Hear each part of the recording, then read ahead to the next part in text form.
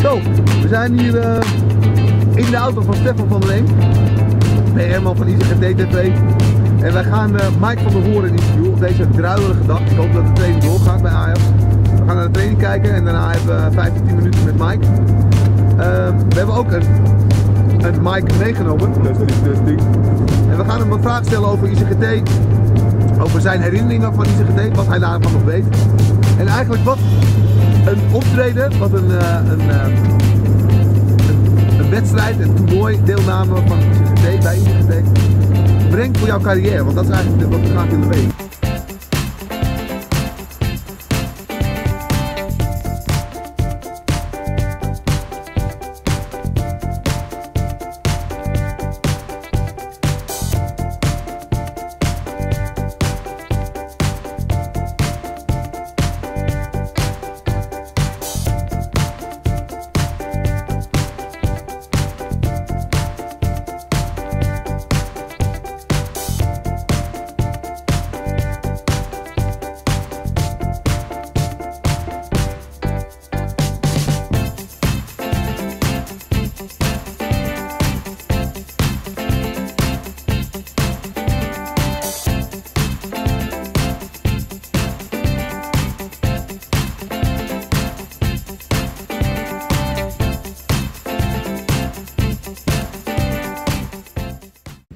Goedemiddag, ICGT TV. Ik ben Daan Kuijs en we staan hier voor de eerste aflevering op Sportpark De Toekomst bij Ajax. Ik heb vandaag uh, een mooie training gezien, waar onder andere uh, oud-ICGT-deelnemer Mike van der Hoorn heeft meegedaan. Mike is hier. Hi Mike.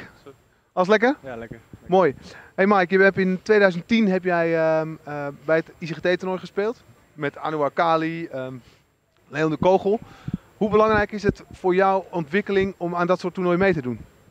Nou, je speelt ten eerste tegen de beste van je, van je lichting, zeg maar. En uh, kijk, in de competitie speel je soms tegen iets minder, maar dit is gewoon een toptoernooi. En uh, ja, als je dan de lichting uit, uit andere landen dan tegenkomt, dan uh, ja, word je alleen maar sterker. Wat heb je, want je hebt onder andere tegen het team van ehm, Amerika, van de jeugdselectie van Amerika en Japan gespeeld. Wat kan je daar nog van herinneren, van die, van die duels? ja, Amerika is natuurlijk vol, vol passie, keiharde strijd en en de Japanners zijn iets, iets behendiger allemaal en, uh, en iets meer uh, van het tiki-taka, zeg maar. Ja. Kan je ook, uh, zeg maar, in, het internationaal Cor toernooi, het zegt het eigenlijk al, internationaal. haal je nou lessen uit juist andere spelmentaliteit vanuit die andere landen? Ja, vooral die passie, weet je, van ook die Brazilianen, die spelen met zoveel passie en hoe ze hoe, de duels gaan. Kijk, in de Nederlandse competitie leer je maar uh, de helft. En uh, daarbuiten is, is, is, er ook nog wel wat, uh, wat te halen. En ja, dat zie je dan vooral bij zo'n buitenlands toernooi dat het wel naar boven komt. Ja. ja. nou mooi. Heb jij nou naar aanleiding van dat toernooi ehm, meerdere toernooien gespeeld uh, in, in die periode of daarvoor? ja, ja, zeker. kijk, je wordt als jeugdteam zo wel vaker uitgenodigd voor, voor, voor zulke toernooien. En, maar ik moet zeggen, dit, dit, wel een, ja, dit is wel veel, veel goede kwaliteit zitten op dit toernooi. En, ja, dat, uh, dat neem je wel mee als speler. Zeg maar. ja. Dus eigenlijk zou ik jou nog een keer kunnen verleiden om eens een keer te komen spelen een wedstrijdje. nou, dat, uh, dat uh, weet ik niet, maar misschien komen kijken, dat is, dat is wel leuk. Ja, natuurlijk. Nee, oké. Ik, um, FC Utrecht staat voor aankomend weekend op het programma. Dat is ook de ploeg met waarmee je daar hebt gespeeld. hoe ben je vanaf zeg maar, 2010 bij Ajax terechtgekomen?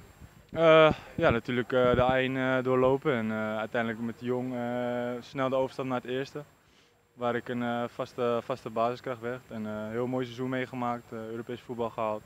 Vijfde plek, speler van, van het jaar geworden. Dat is niet verkeerd. Nee, dus dat allemaal opgeteld is het mijn transfer naar IJs gekomen. En ja, nu ben ik drie jaar al hier bijna. Ja, nou, dat is mooi. En nou, spelminuten worden meer en meer gemaakt, dat is top. Daar zijn wij als uitgevers natuurlijk enorm trots op. Um, als laatste, wat kan je nou nog, uh, zeg maar, wat vind je echt heel belangrijk voor de spelers die, die dit misschien gaan zien, of voor de mensen die naar de spelers gaan kijken straks op ons toernooi? Wat, uh, wat is echt heel belangrijk als je dat soort toernooien draait? Persoonlijk voor jou, uh, waar, waar je mee hun, wat, wat je hun misschien kan meegeven?